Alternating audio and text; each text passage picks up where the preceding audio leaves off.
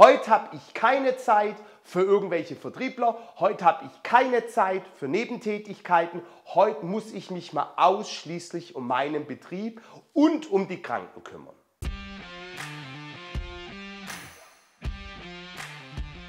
Hi, der Mitschwitter hier.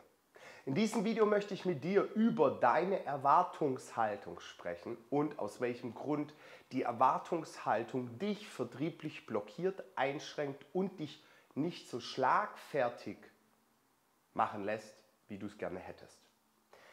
Ich weiß nicht, ob dir bewusst ist, dass es eine gewisse Erwartungshaltung gibt, beziehungsweise dass du ständig Erwartungshaltungen in deinem Kopf hast. Wenn du rausgehst, hast du Erwartungshaltungen. Wenn du Auto fährst, hast du Erwartungshaltung. Wenn du in deinem Büro auf Arbeit bist, hast du Erwartungshaltung.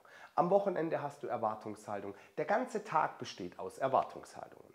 Wir stellen uns auf etwas ein, sagt man ja auch so schön.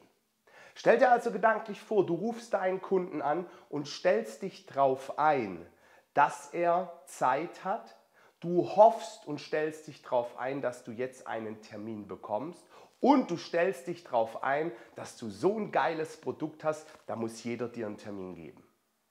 Nun rufst du den ersten Kunden an. Der Kunde hat die Erwartungshaltung wie folgt.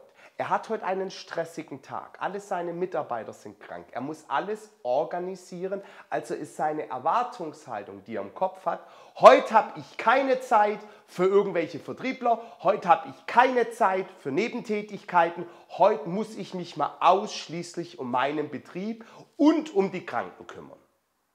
Und das muss jetzt auch jeder nachvollziehen können. Jetzt rufst du an mit der Erwartungshaltung, du hast das geilste Produkt, du musst den Termin bekommen. Und triffst auf einen Menschen, deren Erwartungshaltung ist, heute muss jeder mal verstehen, dass er im Stress ist. Und diese zwei Menschen treffen jetzt aufeinander.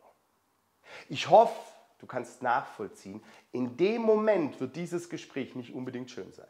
In dem Moment wird das Gespräch auch nicht so sein, dass du sagst, Wuh, Ziel erreicht, sondern dein Kunde wird relativ schnell verbal dir mitteilen, dass er keinen Bedarf, keine Zeit hat und er wird es auch von der Tonalität mitteilen, dass er auf dich keinen Bock hat.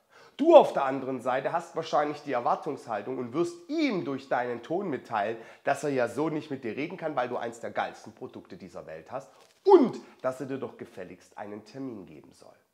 Was beginnt also nun ein verbaler Schlagabtausch? Und das ausschließlich nur aus einem Grund deine Erwartungshaltung. Versteh mich bitte richtig, wenn du in der Akquise bist, ist es ja so, im ersten Moment, wo du jemanden anrufst, musst du dich auf die Erwartungshaltung deines Gegenüber einstellen. Warum? Du kannst nicht erwarten, Erwartungshaltung, dass wenn du anrufst, dass die Welt aufhört sich zu drehen. Das tust du aber automatisch, weil du frames, du triggerst dich. Du bringst dich in eine gewisse Einstellung und verstehe mich bitte richtig. Das ist auch gut, dass diese Einstellung gegeben ist, dass du dich vielleicht putscht, dass du dich in den richtigen Zustand bringst. Zustand bedeutet aber nicht Erwartung. Der Zustand ist, dass du flexibel im Kopf bleibst, dass du gut drauf bist, dass du den Kunden da abholst, wo er abgeholt werden möchte. Hör auf mit deiner Erwartungshaltung, weil das wird zum Schlagabtausch führen. Wenn du eine Erwartungshaltung hast, dann bist du entweder gekränkt, enttäuscht, verletzt. Du hast irgendeine negative Emotion, wenn deine Erwartung nicht erfüllt wird. Und die Erwartung entsteht ausschließlich hier drin.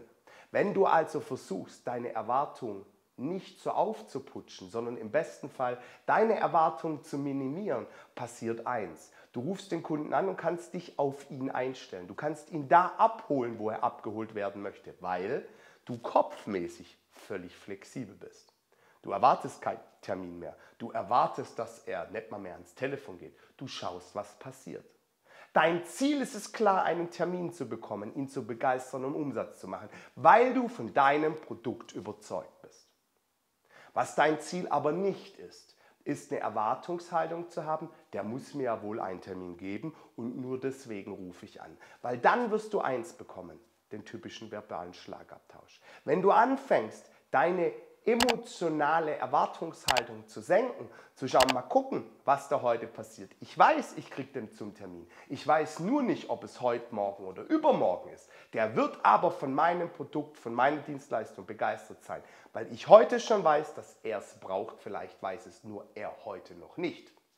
Dann wirst du in keinen Kommunikationsschlagabtausch mehr kommen, sondern dich immer neben deine Kunden stellen, weil du viel mehr Verständnis hast. Verständnis für die Situation. Weil wenn du ohne Erwartung kommst, kannst du dich auf ihn einstellen. Und wenn du dich als Vertriebler auf ihn einstellst, wirst du ganz andere Gespräche führen.